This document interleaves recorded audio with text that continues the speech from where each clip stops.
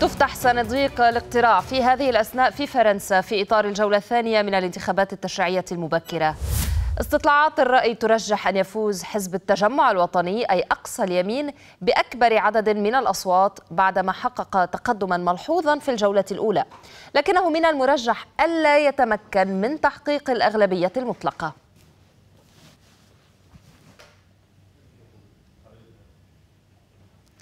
في هذه الصور نتابع مباشرة عمليات للاقتراع التي ستبدأ بعد ما فتحت صناديق الاقتراع أبوابها منذ لحظات في المدن الفرنسية وهذه الصور مباشرة من أحد المراكز في العاصمة الفرنسية باريس. في هذه الجولة الثانية من الانتخابات التشريعية المبكرة التي كان دعا إليها الرئيس الفرنسي إيمانويل ماكرون عقب نتائج حققها أقصى اليمين في انتخابات البرلمان الأوروبي. من باريس تنضم إلينا مراسلتنا عزة غريبة وينضم إلينا من نيس مفدنا سيف الدين العامري. عزة أبدأ معك وتوقعات لسير العملية في هذا النهار وأيضا جولة معك على آخر استطلاعات الرأي والمرجح من نتائج هذه الدورة.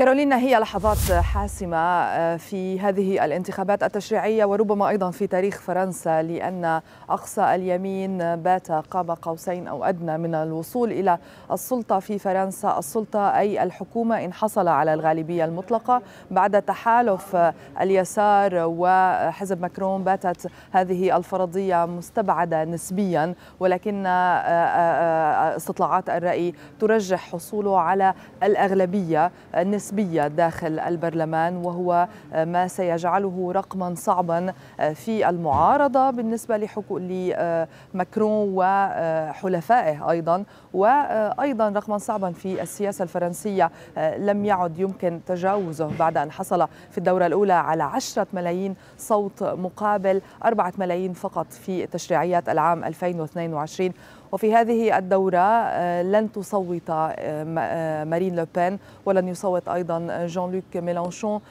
في هذا اليوم لأن المقعدين قد حسما في الدوائر التي ترشحا فيها قد حسما من الدورة الأولى وبالتالي لن يدليا بأصواتهما اليوم بينما بقية المرشحين والرموز السياسية ستدلي بصوتها اليوم بشكل عام. إذا هذه الدورة حاسمة. الآن فتحت صناديق الاقتراع كما ذكرتي وبالتالي آه، النهار آه، يعني يوم أحد ومن المتوقع أنه في بداية العملية الانتخابية لا يكون هناك عدد كبير من آه، الناخبين يذهبون للتصويت في فرنسا. أنتقل إلى نيس. المشهد سيكون تقريبا مماثلا لما هو في العاصمة الفرنسية. سيف ولكن أيضا نطلع منك على المتوقع في نيس اليوم خصوصا أن هناك أعداد كبيرة ستصوت في نيس هذه البلدة في جنوب فرنسا أو المدينة والتي هي تعتبر معقل لليمين أيضا. صحيح كارولينا وفعلا منذ دقائق فتح هذا المكتب الذي ورائي وهو أكبر المكاتب ميري نيس يعني بلدية نيس. أكبر المكاتب في نيس أبوابه وبدأ فعلا الناخبون بالتوافد على هذا المكتب خاصة من كبار السن أو أساسا من كبار السن. فالساعة مبكرة الآن الثامنة تقريبا صباحا هنا في نيس. وطبعا من المتوقع أن يكون أول من يأتي هنا كبار السن. طبعا مدينة نيس كارولينا تشهد تنافس ثلاثة من المرشحين الأقصى اليمين إريك سيوتي ويمين الوسط واليسار من الجبهة الشعبية الجديدة بحيث أن نيس لم تخضع إلى التحالف أو التفاهم بين اليمين واليسار اليمين الوسط واليسار في أن ينسحب صاحب المرتبة الثالثة هنا في الدائرة الأولى لنيس وأيضا بعض الدوائر الأخرى بينها الدائرة الرابعة والخامسة والتاسعة. وبقية الدوائر باستثناء ثلاث دوائر في نيس تم يعني حسم أمرها من الدورة الأولى وصعد مرشحوها وهم من أقصى اليمين ثلاثتهم. يعني ثلاثة على تسعة دوائر حسمت في نيس من الدورة الأولى لأقصى اليمين.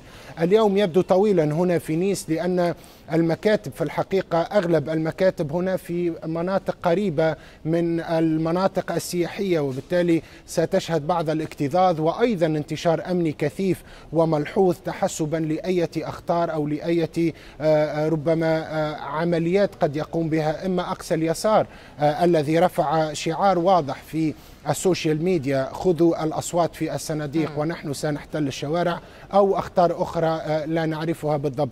عموما آه، بداية فتح الصناديق كانت هنا في نيس مع إقبال يبدو ضعيفا ولكن مع النهار مع ساعات النهار سيشتد. وأيضا آه، سنتابع السياسيين هنا كيف نعم. ستكون عمليات تصويتهم وردود أفعالهم بعد صدور النتائج الأولية كارولينا. سيكون نهار طويل بلا شك. عزة أيضا أود أن أسألك عن الإجراءات الأمنية الأمنية التي اتخذت في العاصمة الفرنسية خصوصا مع بعض المخاوف خلال النهار وحتى بعد انتهاء العملية وبدء صدور النتائج.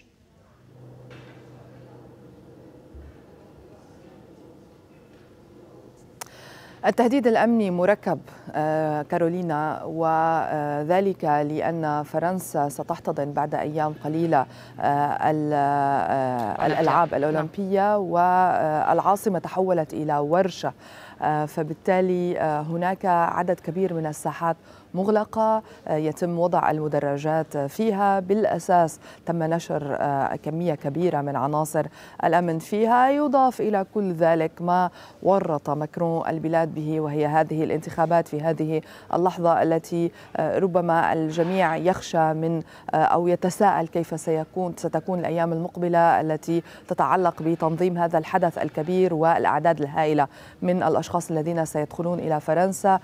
قوات الأمن بالأساس هي متعبة وإضافة إلى ذلك هي مستنفرة اليوم على مدار الساعة لأنه سيكون كما ذكرتي نهار طويل عملية انتخابية آه، سيحاول آه، عناصر الأمن آه، رعايتها وحمايتها وإبقاء عينهم عليها ولكن في الوقت نفسه عندما ستغلق الصناديق عند الساعة الثامنة مساء بعد 12 ساعة من الآن لن يهدأ لهم بال لأنهم سيتابعون عمل عملهم لأن الكثير من المظاهرات إن كانت احتفالية أو احتجاجية من المتوقع أن تخرج مساء. هناك تهديد كما ذكر سيف باحتلال الشوارع أو الذهاب إلى الشوارع بدل الصناديق عندما ستظهر النتيجة النهائية. بكل الأحوال هناك توقعات بأن هناك سيناريوهات مفتوحة على كل الاحتمالات والجميع هنا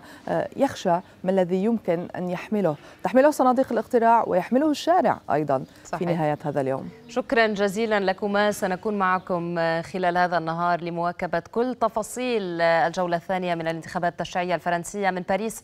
مراسلتنا عزة غريبة ومن نيس مفدنا سيف الدين العامري. شكرا جزيلا لكما.